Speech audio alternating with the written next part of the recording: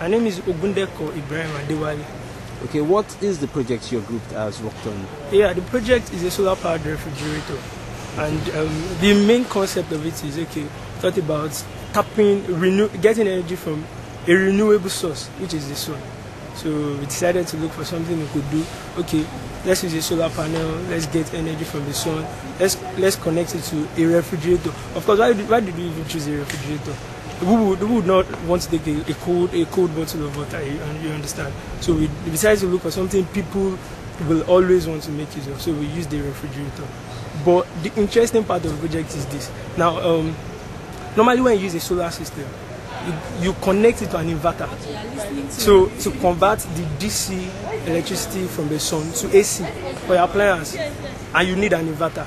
But now we bypassed an inverter, so we are making use of a DC compressor. Okay, so um, in less scientific terms, what you're saying is the fridge would be able to work directly um, from the electricity supply from a solar panel Yeah, absolutely. without the use of an inverter. Yes. So, what do you, do you think that um, the, if you were to put this out on a commercial scale, that is for it to be sellable on the streets, do you think it will be affordable by Nigerians? Yeah, that's relative. Anyway, for for me to convince a Nigerian to buy it, of course, the overall cost, setting up the system and getting the whole thing coupled. If I'm going to sell this, and I might be selling it around um, 270,000. Wow, you would want to run away.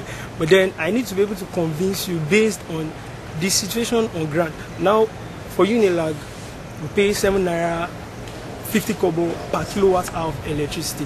It's just a matter of time. In 2013, that money is going to get to 22 naira per kilowatt hour of electricity. And all you need to just do is just sit. Everybody should be able to do that little calculation for one, two, three, five years. You are going to the pay, payback period.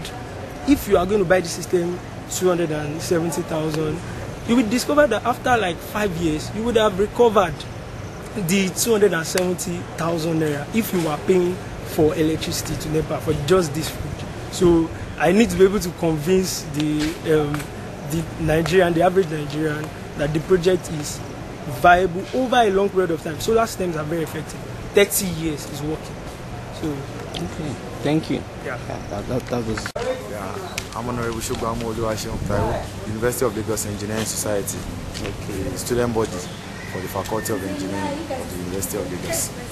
It's conceived in order for us to make our students research oriented and to involve or engage them in activities that will help to promote national development because for any society to grow, can't grow beyond its intellectual capacity. So the faculty is charged or is set to bring or to imbibe the idea of research work into the lives of our students because uh, the program is tagged or is named in memory of late Professor Adele Awojobi, who is everything any engineer could dream to be. He's an orator, he's an inventor, he's a researcher, he's a political, he's, an, he's also an activist. Definitely as an engineer, you should cut across all levels. And uh, since you are the one who brings about meaningful developments in any country, and so the success of any particular country nowadays is the level of their engineering and science. What we also believe the engineering faculty too should also be oratory oriented.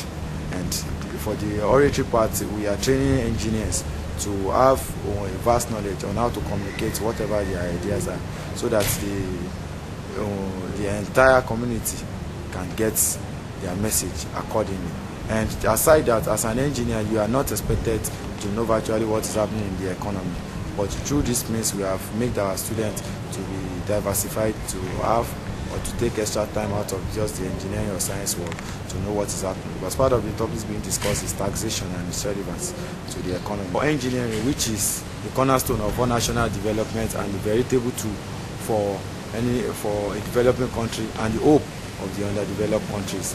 Definitely for the research work that have been carried out here, we have carried out uh, one of the ways to improve on the voting system in Nigeria. Because the last uh, for the last election there are a number of lapses which were discovered by some team and they have really helped to trace out where all of these things can be improved upon. And there is a particular team as well trying to work on how we can help uh, assist the country in its power sector by making provision for a wireless power supply through uh, some other means of technology.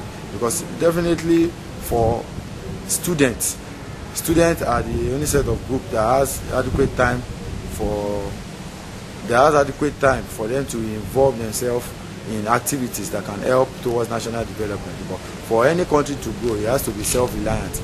We are looking for alternate sorts of uh, generative power. We are looking for alternate sorts of technology which is the main motive of late professor ayodele awojobi we don't have to rely on importation of goods. We have to make provisions for ourselves